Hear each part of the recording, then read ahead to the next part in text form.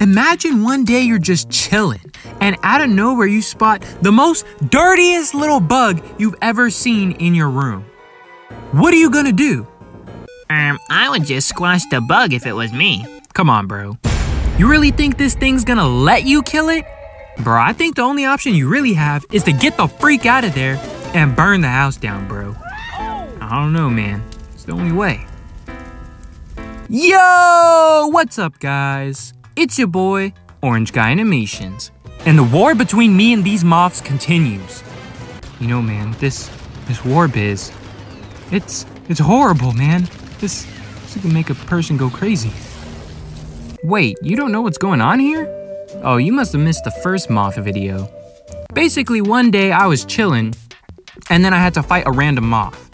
Then I came back from vacation and had to fight another moth in my room. It's a pretty funny video if you haven't seen it. But this video is about the unfortunate end to these moth wars. So literally a week later, after I crumpled the moth in my room, we went indoor go-karting with our dad. And of course your boy got the best time in the group. But after we were done having our fun for the night, I decided to go back home to our mom's house by myself. I had gotten home pretty late, and as I was getting ready for bed, I was thinking to myself, man, it's good to be back home. At least I don't have to deal with the moth this time. uh, oh. No, this, this, this, this can't be! This, this can't be! No! No! There was a moth in my room. Again! Man, it was just a joke. I'm not trying to deal with this every week. But these fools ain't giving me a choice. I summon a shoe? It was the closest thing I could find fast.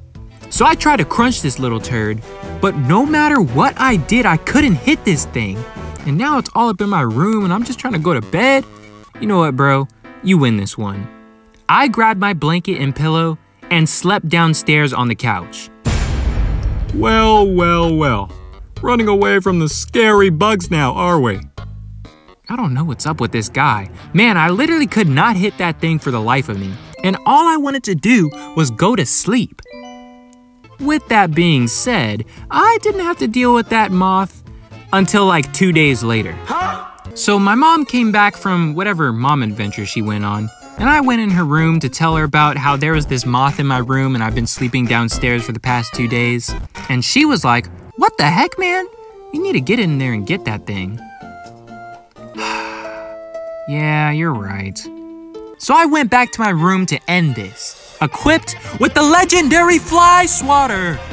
But even the swatter of legends couldn't hit this thing, and it would escape from me and hide on the fan, like around the little bulb thing.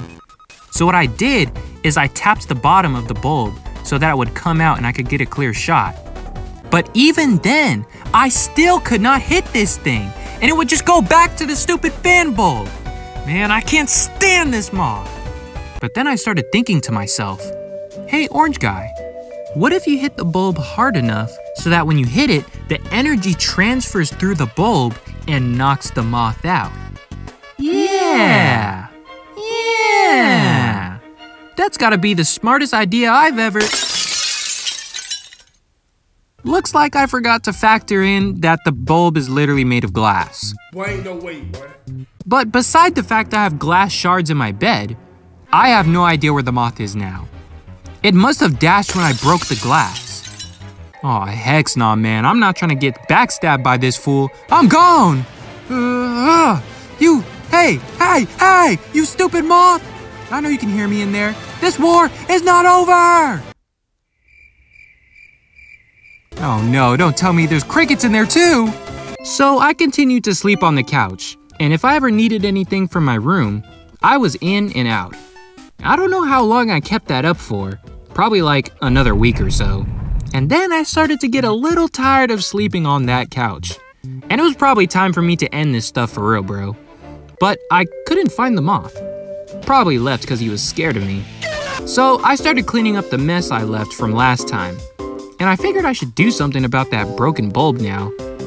But then I noticed something. A little dark spot that wasn't there before.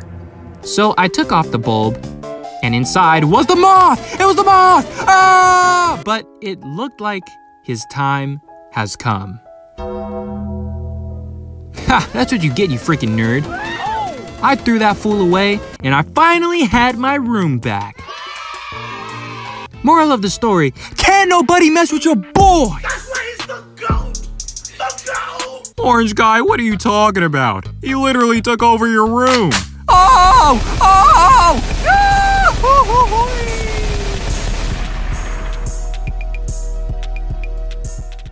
No! Now nobody can mess with your boy. And with that being said, I'll catch you in the next video. Yo, what's up guys? Your boy N-Cards Orange Guy. This is gonna be like the fourth time that I say that I have nothing to say in this end card. I have no idea. Like sometimes I have an idea, and I said that once before. I have no idea what I'm saying in this end cards, bro. So, uh, sorry. Uh, one thing I do want to say. Sorry for the video being late for people who pay attention. Um, and uh, uh, uh, I'm gonna try to keep it going. I don't even know what I'm saying, bro. Subscribe. That's all I'm getting to. I'm just, just subscribe, bro. That's all I have to say. Subscribe. Why haven't you subscribed? Ah!